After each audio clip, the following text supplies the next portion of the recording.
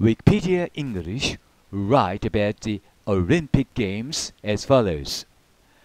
The Olympic Games are a series of athletic competitions among representative city-states and one of the pan-Hellenic games of ancient Greece. And they continued to be celebrated when Greece came under Roman rule until the Emperor Theodosius I suppressed them in 393 AD as part of the campaign to impose Christianity as a state religion of Rome. The games were held every four years, or Olympiad, which became a unit of time. This is a very important part of this explanation. It says again, which became a unit of time in historical chronologies. According to a book, Wars in Collision, written by Immanuel Velikovsky, however, the Olympic Games are held at first every eight years and then every four years Olympiad in relation with Venus when the Earth and Venus meet together. It is so called now the Venus calendar. イマニュエル・ベリコフスキーによれば古代オリンピックは地球と金星がエ合する8年周期に合わせ8年ごとに開かれていたといいます。これを金星カレンダーと言いますがその金星カレンダーは古代文明の世界においては広く使われていました。イマニュエル・ベリコスキーの衝突する宇宙法政大学出版局によれば次のようにあります。この8年の周期を2つに分けてそれぞれ金星の2エゴ周期半とすることができそうするとその分岐点では金星が交互に太陽とともに昇りまたは沈むことになるので西暦前5世紀以後のエジプト人は4年周期を用いた。これがエジプト年は4年に等しいというホラポロ報道の意味である同様にギリシャ人はアテネに捧げた4年周期で年を数えたオリンピック競技は4年ごとに行われた。かっこ最初は8年ごと。そうして時はオリンピック競技を境にして測られた。ここが重要です。時はオリンピック競技を境にして測られた。オリンピック競技は西暦前8世紀に始まった。アテネ市のパルテノンでは4年ごとにアテネを記念して全アテネの行列によってお祝いしたと。広林浜祭りジャパン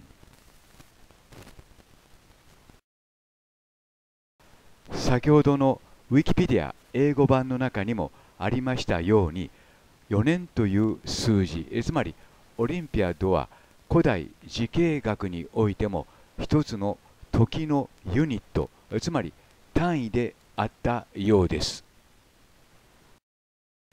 イマニュエル・ベリコフスキーの説を簡単に説明しておきます。太陽系です。そして金星と地球です。同じ位置に並んでいる点に注意してください。そして2919.6日ごとに地球と金星は同じ位置に戻りますこれを合周期と言います分かりやすく言えば2919.6日ごとに地球から見て金星は同じ位置に戻るということになります。え繰り返しますが2919.6日ごとにこのように並ぶということですね。地球から見て同じ位置に金星が位置するということになります。そしてそのエゴ周期を8で割ると364.95イコールほぼ地球の公転周期と一致します。エラーはたったの0.7日前後ですそこで古代の人たちは金星を、まあ、カレンダーに利用したということになります。つまり、これを金星カレンダーと言いますが、この金星カレンダーは古代において世界中で使われていました。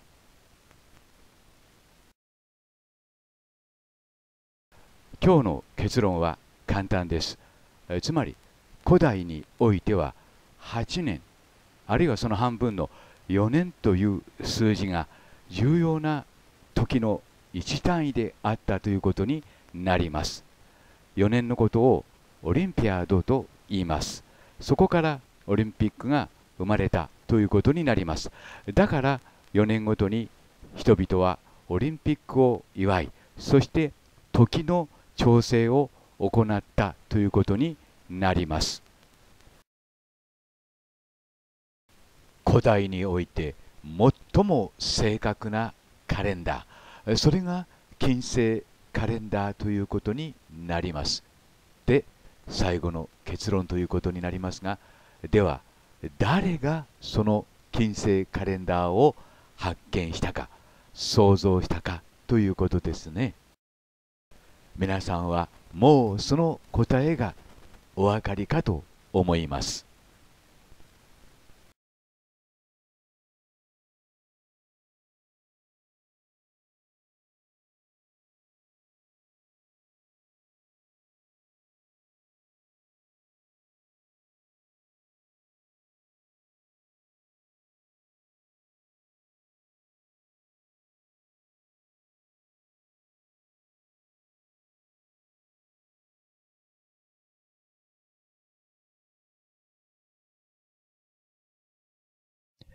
Although Wikipedia writes about the Olympic torch as follows, it says nothing about Zoroastrianism, but why?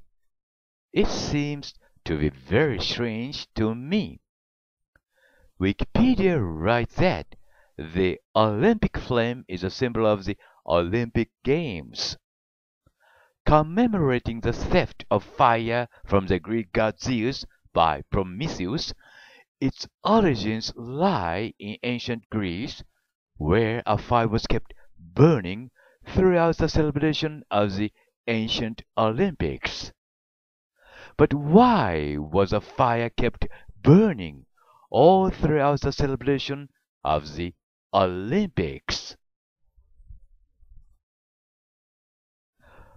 ウィキペディア百科事典は、オリンピックの成果について次のように書いていますが、肝心のゾロアスター教については何も書いていません。私にはそれが奇妙でしかありません。なぜ何も書いてないのでしょうかウィキペディア百科事典には次のようにあります。オリンピックの成果は、プロメテウスがギリシャの神、ゼウスから火を盗んだことを記念するために、その起源は古代ギリシャにある。古代ギリシャでは、オリンピックを祝う間中、ずっと火が灯されていたと。が、なぜオリンピックの間中、ずっと火が燃やされていたのでしょうかそれについての説明は全くありません。広島林、浜松シティ、Japan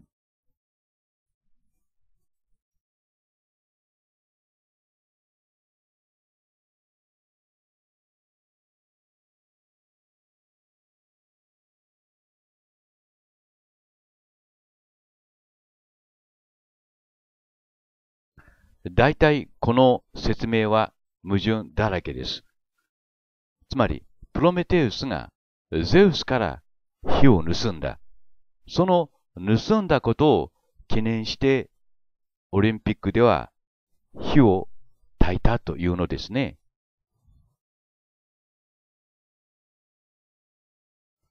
ならば、どうしてプロメテウスの体にはこのように鎖が巻かれているのでしょうかプロメテウスがゼウスから火を奪った。その火を奪ったことを記念して火を焚くようになったというわけです。しかし、オリンピアンの長はゼウスです。そのゼウスが自分の火を奪われてですね、その奪った相手のプロメテウスを称えるために火を焚いたということになるわけです。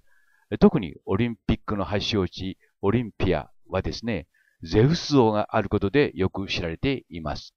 ゼウス像があったことでよく知られています。矛盾だらけですね。いわゆるまあ、盗まれたゼウスが、いわゆる盗んだプロメテウスをですね、に鎖をかけて追い出しておいて、そして一方で火を焚いて、プロメテウスを祝ったというわけです。まあ、ともかく矛盾だらけで、まあ、はっきり言えばどうしようもない説明かと思われます。また誤解があるといけませんので、はっきりさせておきたいことがあります。オリンピックの成果は、まあいろいろに説明されると思いますけども、火を焚いて儀式をするというそのやり方はですね、まさしくゾラスター教のそれであるということです。その火を運ぶために太陽光から採取して、そしてオリンピックの聖火台、聖火台に持ってくるわけです。つまり、聖火台に火を灯すという行為そのものが、もともとはゾラスター教の神事であったということです。まあ、そのことを注意して続く動画の中で、もう一度私たちにとって自由とは何か皆さんと一緒に考え直してみたいと思います。時折しも今ブラジルのリオデジャネイロでリオ五輪が開かれています。成果が焚かれています。なぜ成果なのか、もう一度皆さんと一緒に考えてみたいと思います。言うまでもなく、その起源はゾロアスター教にあります。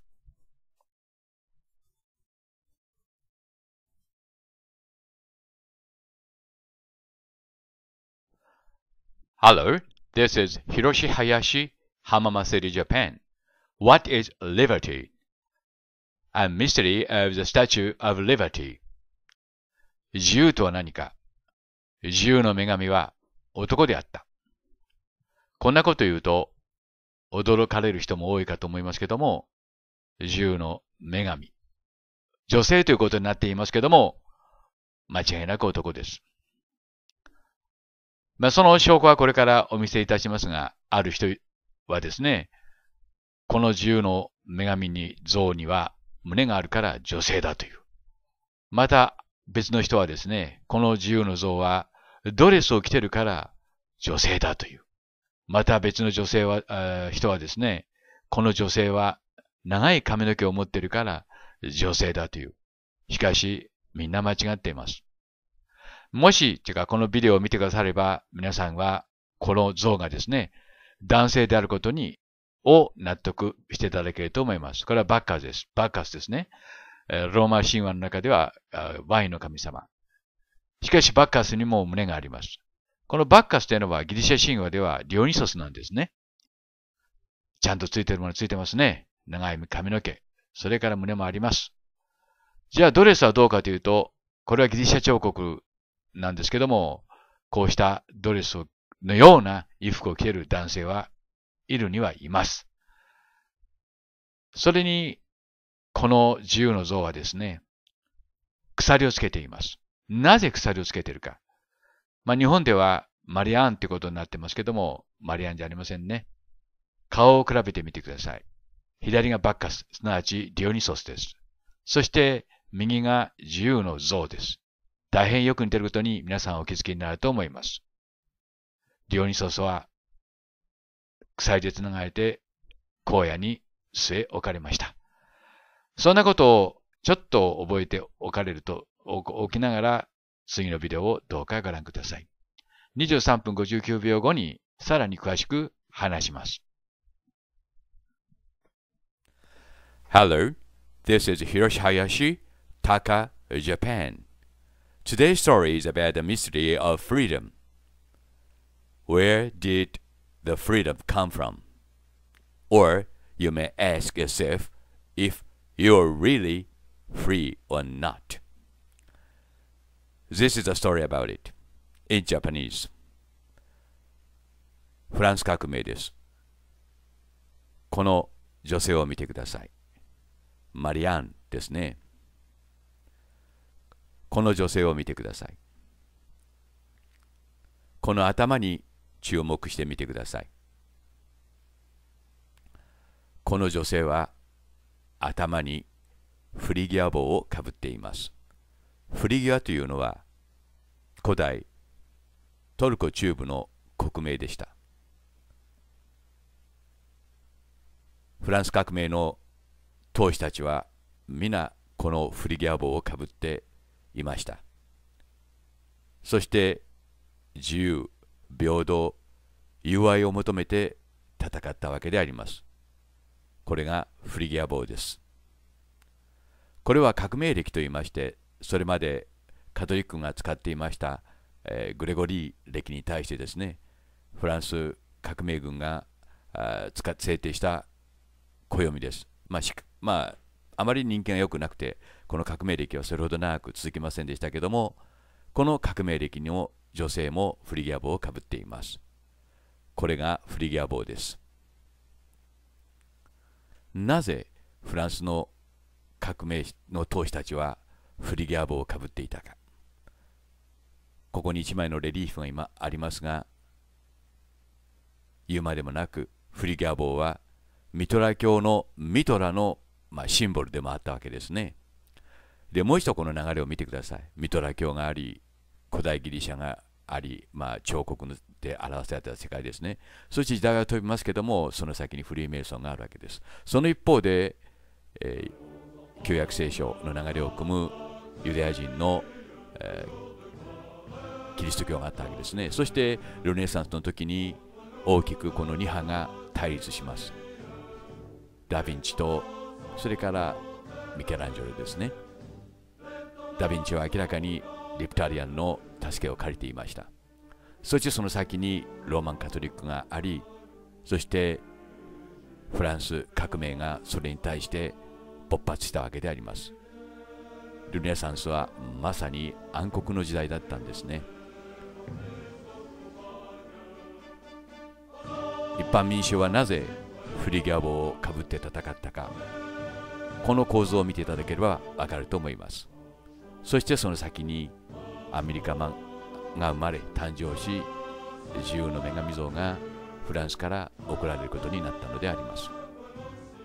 世界中が、まあ、国旗がですね、サンタカタリーナの国旗、それからニカラガ軍の紋章、皆フリギア帽を使っています。その理由はもう皆さんお分かりですね。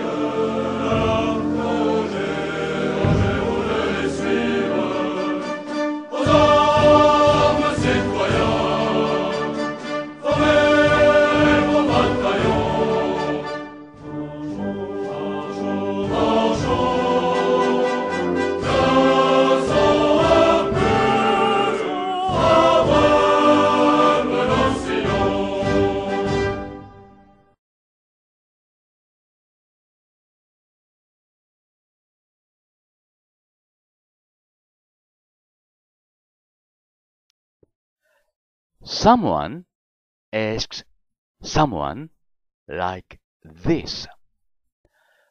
Does it convey the same meaning if Statue of Liberty is replaced with Statue of Freedom or every occurrence of liberty in Declaration of Independence is replaced with freedom? Even for English speaking people, difference between freedom and liberty seems to be a puzzling topic as there are several interpretations of the difference between the two words. But today's point is not this. Today's point is that freedom of human beings, as well as liberty of human beings, has another version of long history to be achieved, together with human history itself, though we pay little attention to it. Or, once again, you may ask yourself in this video if you're really free and if you really know the history of freedom as well as liberty, whichever it may be. This is a message from Prometheus. フリーダムとリバティ、共に英語では自由という意味ですが、好き勝手なことを気ままにすることをどちらかというとフリーダム。また、束縛からの解放をどちらかというとリバティというようです。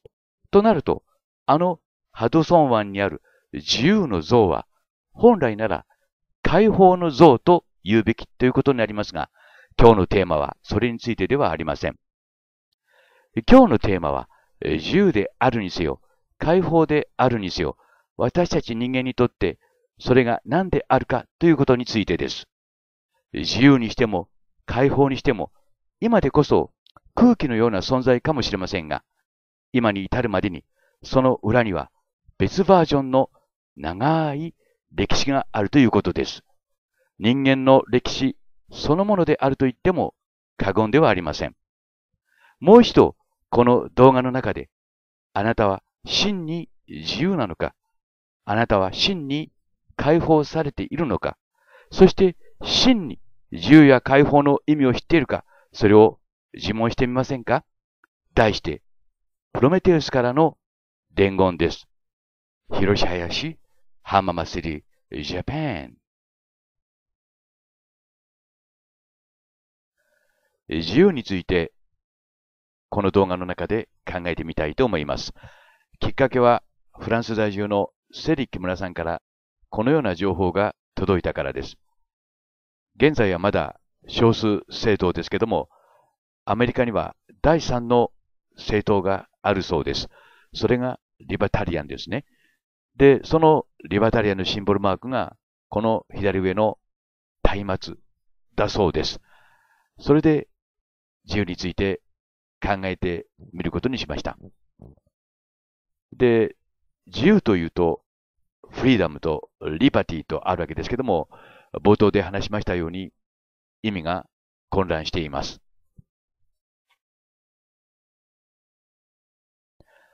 自由と言うと真っ先に思いつくのが、ニューヨークハドソン湾にある自由の像です。あの自由の像は、ディオニソス、別名バッカス像をモデルにして作られたプロメテウス像であると私、林博は説いています。これがバッカス、すなわち、まあ、ディオニソース像ということになります。えー、バッカスというのはローマ名です。で、この両者を比べてみますと、大変コンセプトがよく似ているのがわかります。特にあの、お下げのような紙ですね。長い紙が下に垂れています。そして左のディオニソース像の方にはですね、7個、あるいは6個のコブのようなものが作ってあります。私は7個だと思いますけども、7個目がはっきりしません。まあ、ともかくもこのようなコブが作ってあるわけですね。それが右の自由の像につながっていると考えています。ポーズも大変よく似ています。衣服も大変よく似ています。そして胸が膨らんでお腹がややぽってりと出ています。えつまり、えー、ハドソン湾の自由の像はプロメテウスであり、モデルはプロメテウスが最初に作ったこともディオニソースのということになります。まあ、そうして、まあ、自由の像が作られたということですね。で、もう一度、ここを見比べていただきたいと思いますけども、中央がディオニソス、もしくはバッカスです。みんな自由の像です。ポーズが大変よく似ています。ですから、まあ、ディオニソスを元にして自由の像が作られたと私は考えました。というか、そういう結論になったわけですね。なぜ、えじゃあ、プロメテウスの像をそのまま、そのままで作らなかったかということですけども、プロメテウス像については、私が知る限り、2体しか残っていません。まあ、そういうとそういったところから、まあ、ディオニソース像を使ったということになります。繰り返しますが、えー、ディオニソースというのは、えー、延期すなわちプロメプロメテウスが最初に、まあ、泥から作った子供ということになります。アタパー、すなわちアダムということになります。左がもう一体のディオニソース像です。まあ、これはあの、裸ですから、胸の膨らみ、そしてついているものがついているという点で、まあ、女性ではないという証拠になるわけです。で、このディオニソース像もですね、お下げ髪を、まあ、左右に流し、垂れ、垂らしています。長い髪ですね。そして、比較してみますと、顔も同じであると。で、まあ、胸も大きいということですね。で、ディオニソースは男ですから、右の銃の像も男ということになりますが、それはまあ今日のポイントではありません。今日のポイントは、まあ要するに、銃の像というのはプロメテウスであるという点です。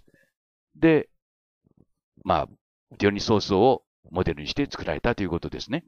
まあ、ここをもう一度確認していただきたいんですけども、顔もよく似てる。太い首、太い腕、まあ、少なくとも女性の顔、女性の体ではないということですね。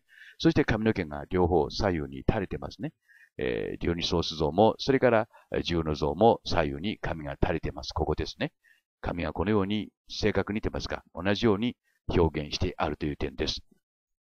髪の毛も中央で分かれています。つまり、ジューの像というのは、プロメテウス、すなわち延期であるということになります。そして、その塩基は泥からアタパを作ります。そのアタパ、最初の人間ですね。それがディオニソースであり、ローマ名でバッカスということになります。少し回り道をしますけども、帽子を固めておきます。イギリス王室の紋章です。頂点にライオンが立ちます。エンリル派であるということをこのような形で示しています。そして右にユニコーンですね。一角獣です。そして左にライオンが表現されています。ユニコーンというのは延期、すなわちプロメテウスの象徴的な動物です。そのユニコーンには鎖が巻いてあります。ですから、自由の像にも鎖が巻いてあります。この鎖に注意してください。これがまあ一つのキーワードということになります。鎖です。そして左がディオニソース、バッカス像です。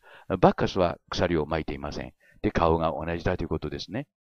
で、まあ、こうして見比べていただきますと、なぜ、えー、銃の像には鎖があるかということを皆さんにも分かっていただけると思います。なわち、えー、中、まあ、真ん中のですね、えー、銃の像はプロメテウスがモデルであるということになります。えー、プロメテウスすなわち延期はですね、人間を改造したがゆえに、えー、神の怒りを買ってですね、そして体中に鎖を巻かれて野に放たれます。鳥に体をついばまれるという刑を受けたわけです。で、その、まあ、自由の像、その、えー、はですね、フランス政府から送られています。で、この一番を見ていただきたいんですけど、マリアンですけども、頭にフリジア帽をかぶっています。えー、自由の象徴ですね。そしてその帽子は、ミトラへと繋がっていきます。ミトラもフリジア帽をかぶっています。まあ、このようにして繋がっていくわけです。自由の像は、フリーメイソンによってアメリカ政府に送られました。そしてそのフリージア帽をさらに上のに遡っていきますと、えー、ザラスストラ、マゾラスタ教ですね。そしてアフラマズダーへと繋がっていきます。まあ、こういう流れの中で、まあ、一番頂点に一応延期を置きましたけども、ずっと繋がって自由の像へと繋がっているということになります。そして繰り返しになりますけども、自由の像は、えー、ディオニソースをモデルにして作られたプロメテウス、すなわち延期の像であるということになります。ここをしっかりと確認しておいてください。えー、一番上が延期ですね。そして現在、フランスではですね、左のような絵が描かれています。三角、向かって右側の三角は、フリーメイソンの、まあ、シンボルマーク。そして足の下にライオンを置いています。足でこうして踏みつけることによって優位性を示しています。先ほど見ましたように、ライオンはエンリルの象徴、すなわち、まあ、英国の方はですね、え、エンリル派の国ということになります。で、フランスの方は延期派の国ということになります。まあ、このような形で、フランスはですね、えー、自分のアジェンダを、まあ、示したということになります。左上が延期です。で、右上がエンリルということになります。エンリルの、えー、象徴的動物はライオンということになります。まあ、このような形でそうした伝統がイギリスに、そしてフランスにつながっているということです。繰り返しますが、ユニコーンの体には鎖が巻いてあります。そして自由の像の足にも鎖が巻いてあります。先ほども言いましたように、私が知る限り、プロメテウス像というのは2体しかありません。これがそのプロメテウス像の一つです。足に鎖が巻いてありますね。えー、まあ、プロメテウスはローマンカトリックの方ではルシファー、悪魔と位置づけられていましたので、数多く使われなかったものと私、林博は判断しています。もう一体がこの像です。この像の方には巨大な鎖が巻いてあります。まあ、このような鎖を巻かれて、プロメテウスは野に放たれたわけですね。そして人間を改造した罪によって、えー、天界から追放されて、打天使となって、そして悪魔中の悪魔、サターン、すなわちルシファーと位置づけられるようになります。まあ、これはあくまでもローマンカトリック側の解釈ということになります。これ、向かって今、右の方で、えー、延期がですね、えー、アタパーを作っているところです。エリドゥルの町でアタパーを作っています。左にいるのがニーフルサグかと思われます。で、人間の子供を作っているところですね。まあ、このようなレリーフも残っています。で、これがディオニソース。人間、まあ、最初に作られた人間ということになります。えー、まあ、ディオニソス、バッカスですね。まあ、ブドウ酒を作ったということです。で、バッカスはどれもですね、やや群れが大きく描かれています。まあ、それがバッカスの特徴ということになります。まあ、もう少し言いますと、神々は両性具有でしたから、男のような男神、女のような女神ということになります。まあ、それは別のところで論じましたので、またそちらの方をご覧になってください。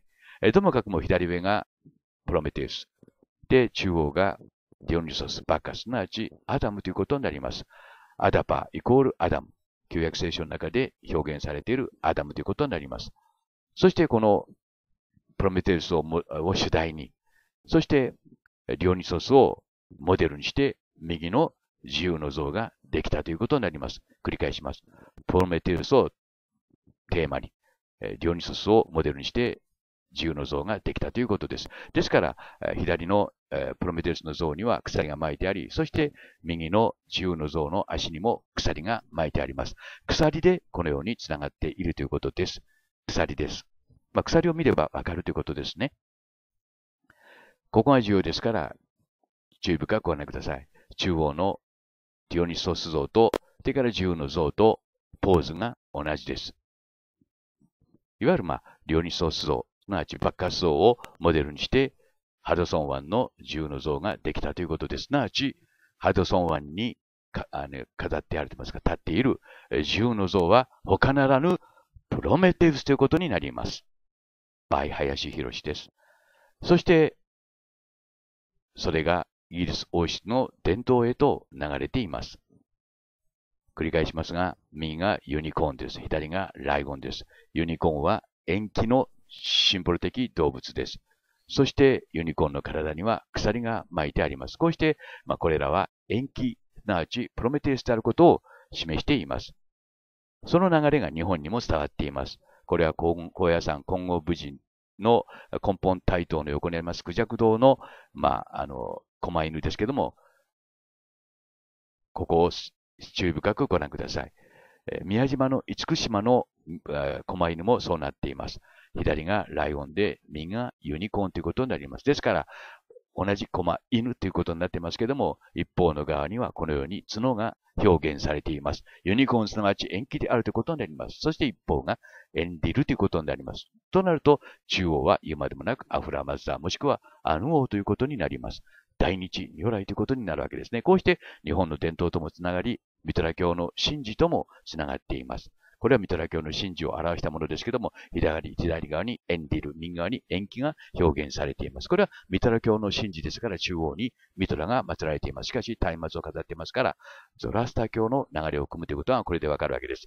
えー、右の三角形はフリーメイソン、もしくはイルミナティのシンボルマーケットとつながっています。左の方はエンディルですね。日本の不動明王、そしてローマンカトリックへとつながっていきます。注意深くご覧ください。このように日本とも深い関係があるということになります。さらに延期とアタパーのついての話をしておきます。これがアタパーの神話と言われている、まあ、粘土板です。タブレットです。まあ、それを、まあ、解読したわけですね。それはあの、シッチン、ゼカレシッチンが解読しました。で、第1から第3の粘土板にアダパーの神話が書かれています。しかし、まあ翻訳してみましたが、大変難解な英語といいますか、単語が並んでいるだけでして、で、まあ全体として意味が浮かび上がってくるという英語なんですね。まあ翻訳の翻訳ということになります。そういった意味で、あの、まあ判断は皆さんにお任せしますが、一応、エンキとアダパーの関係について話しておきます。まあ、そ、これが根拠だということですね。エンキはエリドゥの町でアダパーを粘土から作ります。で、最初にできた子供がアダパーということになります。で、そのアダパーは、がですね、まあ、ある日、まあ、ペルシャ湾ですかね、あの行って、そして、まあ、いたずらをするわけですね。南の風と呼ばれていた神の翼をもぎ取ってしまうわけです。それで、えー、アヌ王の怒りを買って、まあ、あのに呼び出されるんですけども、まあ、その延期がですね、うまく取り計らって、罰を受けることは避けることができました。で、その後のことなんですけどもね、えー、アタパは人間、まあ、延期に作られて、知恵は授かったわけです。しかし、えー、永遠の命ってことになりまし、なったときに、今度は延期が逆にですね、反対するわけです。で、延期がですね、まあ、知恵を授けて、これからはお前はあの王に会うけども、絶対にあの差し出した、差し出したものを食べてはダメだ。というというような嘘を言ってですね、えー、延期はアダパーがですね、あの、アヌオンが差し出す食べ物を食べないようにと、まあ、注意したわけです。で、アダパーは、アヌオンの前に連れ出されます。で、その時にですね、アヌ王が、まあ、永遠の命も、まあ、その、アタパーにさせ、授けようとするんですけども、アタパーの方はですね、えー、延期からですね、何も食べてはダメだっていうふうに言われてたもんですから、それを食べなかったんですね。で、その、まあ、永遠の命は授からなかったということになるわけです。すなわち、アタパーは、知恵は、まあ、知恵の実は食べたけども、まあ、実っていうことで、まあ、比喩的に表現しているわけですけどもね、えー、永遠の命の実は食べなかったということで、それが旧約聖書へとつながっていきます。え、アダパーは泥から生まれました。で、アダムも泥から生まれた。ということから、え、アダパーイコールアダムと繋がっていきます。そして、え、エリドゥの東にウルの都市国家がありました。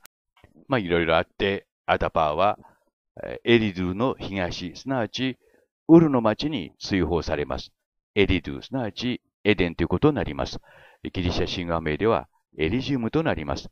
ベートーベンが大工の中で歌い上げたエリジウムです。まあそういった、まあ流れ、流れがあって、まあそれぞれに関連性を持って繋がっていくということです。まあそういったことがこの粘土板に書かれていたということですね。これが、あまあ、神話といえば神話なんですけども、えー、延期がアタパを作ったという、まあ、根拠になっています。まあ今この辺りで、アヌオがですね、えー、アタパに、えー、知恵を、永遠の命を授けようとするんだけども、それに対して、まあ、延期が反対したわけですね。で、アタパに、まあ、はっきり言えば永遠の命はもらってはダメだということを諭して、永遠の命を比喩的に意味する、え、食物を食べなかったということになります。ですから、偉大な知恵と知恵を与えたけども、永遠の命は与えなかったということなんですね。で、この話と、旧約聖書の中の創世記の話と一致するということです。まあ、こうして神々っていうのは、一つの大きな、なんて言いますか、流れのちょ、まあ、源流へとつながっていくということですね。その後、まあ、延期とエンリル派というふうに分かれますけども、原点は一つであったということですよね。さらにその延期派、エンリル派ですね、その後のフリーメイソン、そしてローマンカトリックへとつながって、まあ、対立関係になりますけども、もともと頂点は一つ、もっと分かりやすく言えば、アダムというのは、えー、円形すなわちプロメテウスが作った最初の子供であるということですね。そして、えー、エディトゥの東へと追放されていくということです。まあ、このあたりで、アタパはですね、父神の延期の言うことを聞いて食べなかったと。で、永遠の命は授からなかったということが書いてあります。まあ、こうしたまあ、できるだけ私の方で直訳しておきましたので、まあ、こうした文章はできるだけ直訳する方がいいというふうに考えたもんですから、あ日本語をざっと読んでいただきますと、なんとなくこう意味が浮かび上がってくるというような内容の文章になりました。まあ、その、アヌオが出したものを食べるとね、死ぬ、死ぬってことを教えたわけです。ですから、アタパーはそれを食べなかったということです。まあ、これが、えー、アタパーの神話のタブレットということになります。え繰り返しますけども、このアタパーの神話で確認しておいていただきたいことがあります。それはですね、今言いましたように、えー、今私たちはいろいろいろな意味で対立関係にありますけどもね、まあ、政治的にも宗教的にも対立関係にありますけども、元は、元は一人の神であったということなんですよね。まあ、その様子を表しているのが先ほどの粘土板ということになります。で、もう一度ここでおさらいしておきたいと思いますけども、延期がアダパを粘土から作ったというようなことが粘土板に書いてあった。一方、右の方が旧約聖書ですけども、いわゆるまあ、プロメテウス、がですね、えー、人間をやはり泥から作ったと。アダパーというのは泥という意味だそうですね。ある方がそのように教えてくださいました。そして、プロメテウスが最初に作った子供がディオニソース、バッカスですから、アダパイコールディオニソースということになります。まあ、プロメテウスが何人か子供を作ったということは考えられますけども、まあ一応子供ということで、アダパイコールアダムということになるわけです。すなわち、アダムイコールディオニソースとなるわけです。その、先ほど言いましたように、そのディオニソース像をモデルにしてですね、自由の像が立っているというのも大変意味深いと思います。そして左の、まあ、ローマンカトリックと、そして右の、えー、自由の像に象徴される、えー、フリーメイソンとの対立関係へと入っていきますけども、もともとは、まあ、この粘土板をがですね、間をつないで、もともとは一つであったということなんですね。ですから、まあ、対立関係に入る方が、まあ、おかしいということになるわけですね。すなわち、まあ、これは私は素晴らしい、えー、物語だと思います。まあ、つまり、こうして、まあ、私もですね、ローマンカトリックとフリーメイソンというのは対立関係にあるというふうに考えていましたけども、この第1、第3のタブレットを読んでですね、そのような考えを改めました。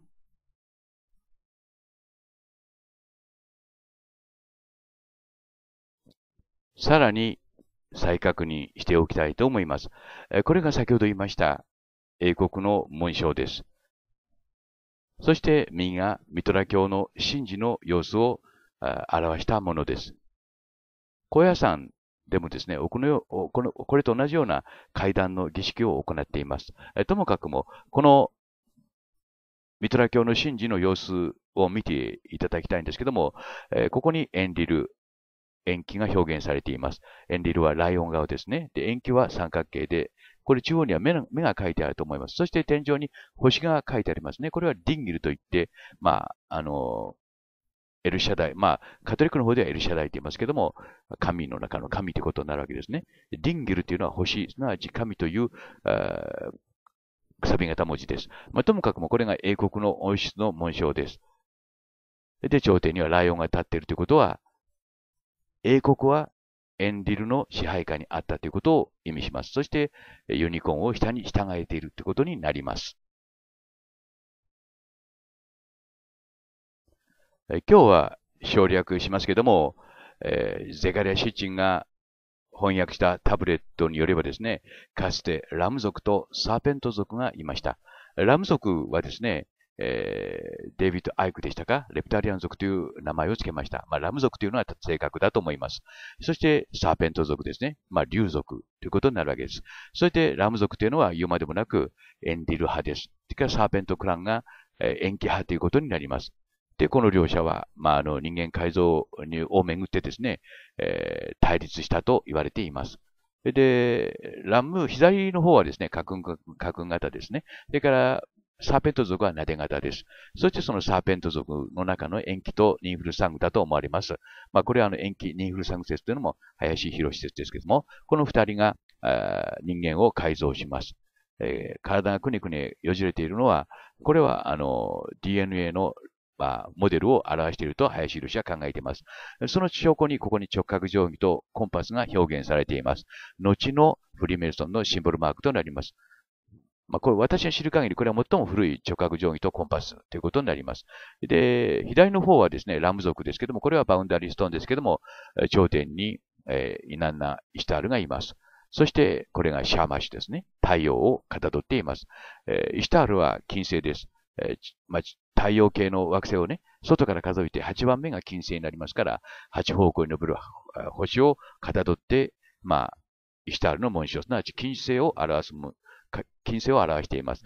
右の方が、これはミトラ教の先ほど神事ですけども、下が、下にミトラ像が、を載せておきました。それで、このミトラ教の神事を、えー、もう一度見ていただきたいと思いますけども、しっかりと確認してください。向かって左側はエンリル、恐ろしいライオン顔です。まあ、顔に騙されちゃダメですよ。顔がおかしいと言ってもね、えー、そうでない人は、そう、そういう、顔だけで人を判断しちゃいけないということですね。神々についても同じだということです。そしてここに星のマークがありますね。これはディンゲル、ヤーウェイ、というふうに、まあ、ここに書きましたけども、アヌオです。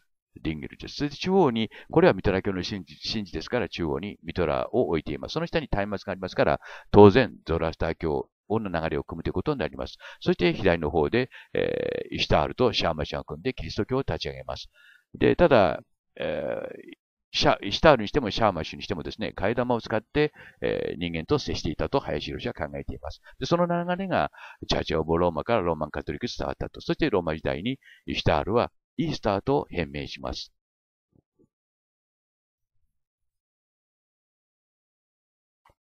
イシュタールイコールマリア、シャーマッシュイコールイエスということを私は説いていますけども、まあ、林博施設ですけども、その証拠をここにお見せします。これはまかなり前に私が発表した動画の中で使った絵ですけども、これはバチカンという本を買ってきまして、その中の第1ページ目か2ページ目にこの絵が載っていました。この部分に注意してください。まあ、この、いわゆるシンボルマークが飾ってあるということですね。これはまさしく、イナンナ・イシュタールの、えー、シンボルマークです。そして、その周辺にさらにここには、8方向にこのようなま絵が描いてあるわけですね。これはシャマーシュのシンボルマークということになります。すなわち左がシャマーシュのシンボルマーク、右がイシュタール、イナンナのシンボルマークということになります。バウンダリストの中にも同じものが表現されています。えここに、まあ、中央に神、まあ、地中のね、月の神の神がいます。それで、左に、えー、シャマーシュですね、太陽の神です。そして、えー、右にイシュタールイナンナです。北条の神とか、まあ、愛の神とか、あの月の神とも、月の女神とも呼ばれていました。ともかくも、イシュタールとシャーマシがここに表現されています。そして現在もですね、えー、これはローマ法王ですけども、このような、いわゆるシャーマシの模様が書いてあります。すなわち、このような形で、えー、シャーマシ、イシュタールと現在のローマンカトリックと繋がっているということなんですね。おそらく、まあ知っているか知らないかはっきりしませんけども、ひょっとしたら知らないまま、このローマンカトリック、まずかキリスト教を立ち上げたのはシャーマシとイシュタールであるということを、まあこのような形で、まあ、証拠があるわけですね。ですから、まあ、この今左に見せたのは、これが太陽、シャーマシのシンボルマークです。右がイナナ、イシュタールのシンボルマークです。そして、まあ、そのマークと上のマークとが一致するということですね。そして上のようなマークを現在の今も、バチカンは使っているということになります。そしてこれらが合体して、現在のキリスト教が生まれたということになります。太陽、すなわちシャーマシュのシンボルマークということになります。で、太陽、まあ、シャーマシュはヘリまあ、ギリシャ神話名はヘリオスなんですけどもね、チタン族だったんですね。それで、オリンピアに負けて、その座をアポロに譲ります。で、アポロとイコールミトラですから、ギリシャ彫刻においては顔が一致します。それも後でちょっと皆さんにお見せしますけども、すなわち、このシャーマシ、すなわちヘリオスですね。ギリシャ神話名ヘリオスは太陽の神であったんだけども、その座を、まあ、アポロに、まあ、譲るわけです。で、みんなイシタールです。で、もう一度このこれはあのシュメールの神々の系図ですけども、ここにいます。これがシャーマシです。そして赤い枠が、これがイここでイナンナと書いてあります。シュメールではイナンナです。バビロニア、メソポタミアではイシュタールと呼ばれています。その上にシーンがいるわけですね。で頂点にアヌ王がいます。まあ、このような神々の系図を見てください。そして下にですね、これはパインコーンという松、松ぼっくりが描いてあります。これがあのサンペートル広場の隅に置かれて立っています。まあ、巨大な像ですけども、これは生命の、の木といいますか、生命の根源を表していると言われていますけども、はっきりしません。で、これがですね、まあ、このような形でバチカンに残っているということで、それと同じものがですね、えー、これはシリアのレリーフですけど、ニムルードのレリーフですけども、やっぱり同じものが描かれている。このような形で、まあ、カトリック教会はですね、古代ともつながっているということです。そして、中央がイシタールです。バビロニアのイシタール像です。そしてみんな日本の、えー、今、私は、縄文イナンナではなくて、えー、縄文イナンナ説を唱えてますけどもね、これがイナンナであると説いています。そしてその頂点が当然アフラマズダーであり、それを元にしてザラストが、ゾラスタ教を起こします。で、これはあの、最近って言いますか、この2、3日に発見したんですけども、その間に、その上ってか、間に、上ですよね、いるのがマルトク、すなわち延期の息子ということになります。そしてそれがミトライとつながり、えー、まあ、補足してきますと一番上に、まあ、マルトクがいて、そしてその上に延期がいるということですね。その流れがずっと下へ来て、そしてミトラから現在のフリーメイソンに伝わっていると。で、左の方は、これはローマンカトリックへと伝わっていると。その途中から分岐したのが、私はイスラムだと思いますけども、イスラムについてはほとんど私は知りません。また、近く謎解きをしてみたいと思います。まあ、このような形で二大勢力に分かれていったんですね。もともとは一つだったということですよね。あの、まあ、延期とエンリル、その上のアヌ王ということを考えてきますと一つだったわけです。で、このようにま対立関係に入って、まあ、ギリシャ神話の中では、えー、左の方をチタン族、そして右の方をオリンピアンと表現されています。まあ、このように対立関係に入って、結局、ま、チタン族が敗れるわけですね。で、オリンピアンが勝つわけです。まあ、これは、あの、ギリシャ神話における神々の系図ですけども、あまり正確じゃありませんが、まあ、一応この説に、この神々の系図に従っていますと、上のブルーの部分がチタン族、下のあグリーンの部分がオリンピアンとなります。そしてこの両両者がここで対立関係に入ります。で、まあ、結果的にチタン族が敗れるわけですね。繰り返しになりますけども、ヘリオスはその座をアポロに譲ります。そしてアポロが今度は太陽の神として君臨するわけです。左がヘリオスです。えー、で、その顔と、この、いわゆる正外符の顔と同じです。向かって右側の前がぴょんと上がっているところに注意してください。それも別のところで証明しました。で、右がイシュタール、イナンダということになります。まあ、こうして、まあ、一見ね、別々の、と言いますか、対立関係にある、まあ、神々ですけども、元は一つ、アフラマザー、さらにその上のマルドク、さらにその上の円形とつながっていきます。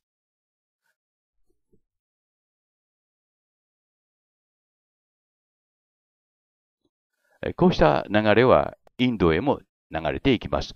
まあ、つまり世界の神々は一つだということを、まあ、簡単に説明しておきます。これはインド政府がサーンに送った銅像です。シバ神です。えー、シバ、シバ、シバ、シバの、シバ神ですね。シバです。で、そのシバ神の周りには、片方に14個、片方に14個、合計24個の松明が、まあ、表現されています。14個、なぜに 7×2 ですね。いわゆる、えー、ミトラ教の非数学ということになります。すなわち、シバ神というのはミトラであったと林博士は考えています。で、7×2。まあ、これは一つの証拠として考えたわけです。えー、で、右が先ほど言いましたように10の像、7本の光線が表現されています。まあ、このような形で7という数字がですね、まあ、ミトラ教の、まあ、シンボルマーク、その後のフリーメイソンのシンボル、まあ、非数学のシンボル的、まあ、セークレットナンバーというんですけどね、神聖数と言われ言われるようになります。で、上がミトラ像ですけど、やはり7本の光線が描かれています。そして自由の像も7本の光線であり、そして、えー、インド政府が3に送ったシバ神の、これなんとかっていう名前がついてるんですけども、降臨ではありませんけどもね、この和のその松明も、え、14個、14個です。これを大きく拡大してみますとわかりますけど、これはゾラスター教の神事で使われている松明なんですよ。それがこのように表現されています。その上にいるのが当然延期ということになります。その息子のマルドクというふうにからゾラスター教へと繋がっていくわけです。まあ、そういう流れの中に神々の、まあ、系図があるということですね。で、それが左下がですね、その証拠にシバ神はフリジア帽をかぶっています。中央下がこれフリジア帽です。フリジアというのはトルコ中部の古名です。そしてそれがミトラの帽子と、まあ、一致していきます。まあ、このようなところから私、林博はシバ神イコールミトラであったという説を唱えています。左が芝、右がミトラ像です。by 林博です。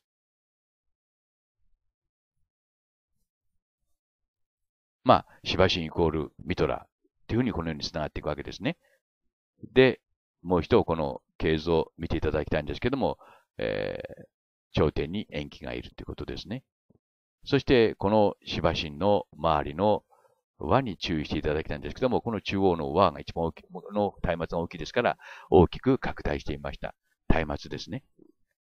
えー、火が燃えている様を表現してあります。すなわち、えー、芝神もゾラスター教の流れを組むということになります。少なくともね。そして帽子から私はミトラだと判断しています。その流れが自由の像の松明へとつながっているということですね。このように世界の神々はそれぞれ有機的に、もう密接不可分につながっているということになります。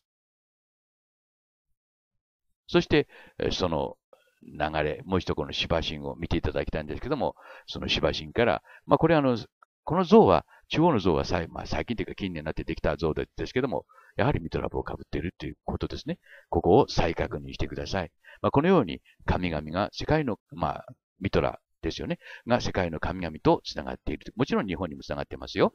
えー、密教となり、4月へハーリスの4月へ、えー、現状三層が行って密教を持ち帰ります。そして仏教ともつながっていますね。もともとブッダのお父さんのストダナゴーダマは、ペルシャ出身です。ですからこのような像があってもおかしくないんですけども、一応これは、最も古いブッダの絵ということになっています。そのブッダの絵の周りにも、やはりシバ人と同じ松明が描き込んであります。注意深くご覧ください。すなわち、ブッダはですね、えー、少なくとも私が、これも林博施設ですけども、ストダナ・ゴータマはですね、えー、ペルシャで、まあ、あの、大神官であったんですね。で、このように、まあ、いわゆる松明を炊く神事を行っていたとしても何ら不思議はないということです。このように、まあ、ミトラ、ゾラスター教の流れがですね、仏教にもつながっているということです。で、ミトラが生まれた時に、ストダナ・ゴータマはですね、お父さんはミトラの誕生に駆けつけています。マギ。お父さんはマギでした。ブッダのお父さんはマギでした。で、この、比べていただきますけども、左が、これが、シバシンの周りを飾っている松明です。右がブッダの周りを飾っている松明ですけども、全く同じであるということですね。これが動かぬ証拠です。ブッダはペルシャ生まれです。ペルシャ出身です。そしてそのお父さんは、名前、ストダナゴータマは、ペルセポリスの神殿に碑文として名前が書かれていました。そしてシッタルタゴータマ、すなわちブッダの名前もセッタ・アルタ・ガウタマという名前でペルセポリスの碑文にあの彫り込まれていました。それも動かぬ証拠です。まあ、それは別のところで述べましたので、ここでは省略します。まあ、要するにこの頭にですね、帽子をかぶってますけども、これも見方によってはですね、まあ、松明ほどはっきりしてませんけれども、ミトラバウと考えることができます。法隆寺にはこのような像も残っています。これは大変よく似てるということですね。まあ、同じと判断してもいいのではないでしょうか。ただ残念なことに左の方の像がよく見えません。しかし、日本には観音像というのがありますね。観音、すなわち、ミトラ系の菩薩です。菩薩ですから、やはり皆ミトラミトラ帽をかぶってますけども、まあ、日本の場合はですね、複雑なデコレーションが施してありますから、まあ、ミトラ帽、いわゆるフリージア帽とは判断できません。が、しかし、まあ、大変よく似ているということで、こうした帽子を取り上げていました。なわち、観音、菩薩像も元を正せば、ミトラの神々であったということになります。まあ、普通、神の像を作るときには最高神を作りますから、当然、ミトラということになります。まあ、要するにこのように表現されているということですね。右が日本の観音像、左が、えー、山に飾ってある芝の像です。この像は繰り返しますけども、インド政府が山に送った像です。そしてここには16の壁にありますね、光線を描いた太陽の紋章が描いてあります。太陽の紋章です。日本の最も神聖な紋章とつながっていきます。そしてこれが芝神です。芝神もやはりフリジア帽をかぶっています。こういったところから私は芝神はミトラであるという説を唱えています。そして同じようなフリジア帽をかぶった神々が表現されています。これも芝神です。体が蛇であるところに注意してください。すなわち、サーペント族ということになります。これも証拠です。ついでですけども、左が、アポロです。右がミトラ像です。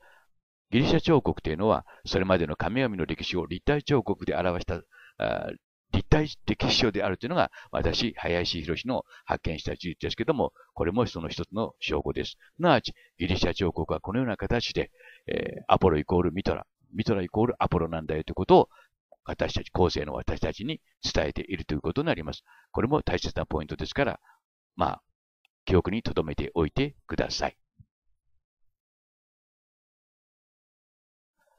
が、残念ながら、二大潮流といいますか、二つの流れは、やがて深い対立関係に入ります。私が、まあ、察するところですね、特に、えー、ローマ、チョーチオブローマがですね、えー、ローマによってですね、えー、4世紀終わりにですね、国教となったと同時に、えー、まあ、キリスト教はですね、勢力を得て、多宗派、多宗教を徹底的に弾圧します。まあ、その、なんて言いますか、歪みと言いますか、わだかまりと言いますか、こだわりがずっと続いているわけですね。で、左の方がフリーメイソンへと繋がっていくわけです。えー、そして右の方がローマンカトリックへとつながっていきます。そして政教一の政治を繰り返すんですけども、その圧力が頂点に達したときにフランス革命が起きます。まあ、その前前後といいますか、ベートーベン、モーツァルトがアンチローマンカトリックに対する姿勢を鮮明にします。これがマリアンですけども、頭にフリジア帽をかぶっています。注意深くご覧ください。そして、フランス革命の当時たちは皆、フリジア帽をかぶって、フランス革命を戦い抜きました。マリアーニも当然、フリジア帽をかぶっています。えー、ルイ16世ですね。ナポレオンの後につい後について、位についたルイ16世です。そして、えー、自由、平等、友愛を説いたわけです。さもなくば死をということになったわけですね。そして、人権宣言などにも、そのシンボルマークが描かれています。これは革命歴ですですけども、やはりフリジア帽をかぶっています。そして世界の、いわゆるまあ、国国旗ですね、国旗、並びに、えー、紋章はフリジア帽を使っています。赤いのがこのフリジア帽です。自由のシンボルということになります。これも頂点にフリジア帽が描いてあります。上院の紋章であるとかね、あるいは陸軍の紋章であるとか、これ、これ上院の紋章ですね。それから、これはユナイテ・ステーツ・アーミー、陸軍の紋章です。そしてそれが自由の像へとつながっているということです。私たちは自由というものを簡単に考えています。解放というものを簡単に考えています。しかし、そんな簡単なものではないということですね。今でこそ空気のようにそこにありますけども、それがずっとなかった、なかったということですね。そしてその自由を求めるために、おびただしいほどの数の人間の血が流されたということです。自由というのは向こうからやってくるものではないということですね。自然に湧いてくるものでもないということです。自由というのは私たちが戦って得たものであるということですね。それが私が言う別バージョンの歴史ということになります。その自由をですね、粗末にしてはいけないということです。そして、まあ、ブッダはですね、もう一つは、まあ、欲望の、欲望からの自由ということも説いたわけですね。私たち人間はですね、欲望の奴隷に過ぎない。それはまあ、林博の解釈ですけども、そうした欲望からの解放もブッダは別のところで解きました。それはまた別のところで説明しましたので、そちらをご覧になってください。そして、セリキムラさんがですね、このフランス革命というのはここでお見せしますように、全部7という数字で成り立っているというんですね。これは、あの、そのように数字といいますか、数字を合わせてフランス革命を起こしたとも考えられるわけですけどね。1789年、それを、まあ、合わせますと7につながっていくということです。1789年にフランス革命が起きたと。で、それを合計しますと、今出てきますけども、25になると。25の2と5を足すと7になるわけですね。さらにまあ、これは次のことが決定的だと思いますけども、フランス革命が起きたのが、皆さん何日かご存知ですか？その日も、いわゆるまあ、ミトラ教の必数学にのっとって、えー、まあ、作られたというか、その日に合わせて革命を起こしたとも考えられるわけですけどもね。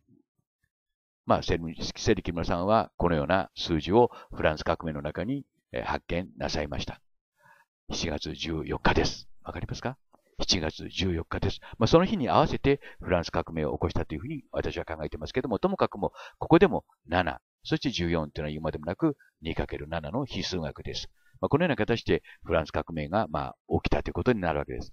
まあ、これは偶然ではありませんね。意図的に計算されていたということになります。まあ、7という数字に集約されていくということです。まあ、これも、えー、フランス革命の謎の一つということになります。私たちの知らない歴史の一つということになります。そして左のミトラが現在の自由の像へとつながっています。その自由の像というのは、プロメテウスを表現したものであるということになります。そして、その向かって左側の右手には高々と松明を、統治を掲げています。統治というのは、えー、今でもなく、ゾラスター教のシンボルです。そしてそれが現在の、えー、オリンピックの聖会とつながっています。まあ、これはルシファーの彫刻です。嘆き嘆きのルシファーということになりますけども、まあ、これジェジェニーということになるわけですね。で、頭から角角が表現されています。これをレイというね、あのヘブライ語を語訳したためだと林博士は考えています。レイとその角と同じ字なんですね。あのイスイスラエリではね、イスラエル語ではね。で、ここに涙が表現されています。注意深くご覧ください。えー、ルシファーは涙をこぼしています。まあ、カトリック教会側は、サタン中のサタンということにしています。え、そしてその足には鎖が巻かれています。まあ、あの、人間を改造したがゆえにね、その罪を負って野に放たれたということになります。そしてその精神が現在の、えー、自由の像へとつながっているということです。繰り返します。私たちは自由というものをあまりにも軽く考えすぎているのではないでしょうか。自由であるが、自由であるということをですね、理由にして、欲望の赴くまま好き勝手なことをしているのではないでしょうか。それではいけないということですね。で、この絵を見ていただきたいんですけども、中央にアナヒータがいます。一応、ザラスストラの妻ということになっています。と同時に、ザラストラの相棒ということになるわけですね。そして、その後ろにいるのが当然、ミトラということになります。ミトラは12月25日、トラスター教の当時祭の日に、馬屋で母アナヒーターの処女会談によって生まれました。で、世界を照らしているということです。これが自由のシンボル。